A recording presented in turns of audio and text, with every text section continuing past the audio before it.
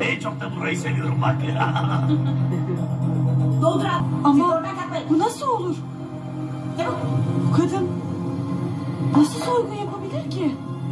Asıl şaşılacak şey İnanamıyorum. bana da